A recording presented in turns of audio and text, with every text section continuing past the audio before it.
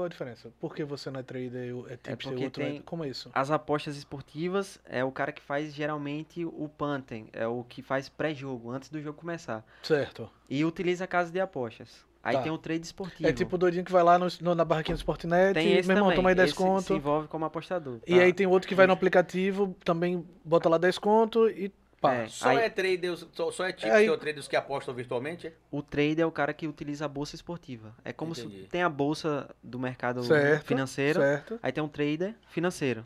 E tem um trader esportivo também, que é o cara que vai utilizar um, um exchange para fazer os investimentos. Que aí A vai ver, pegar. a ver créditos. Não, é a Betfair. Ah, A agora? Betfair. A Betfair é uma é. bolsa esportiva Ah, onde certo. você faz trading. Você compra na alta, vende na baixa, compra na baixa, vende na alta. Sim. Isso é diferente de fazer uma aposta esportiva, de você apostar Flamengo vai vencer. Isso é a- aposta. Certo.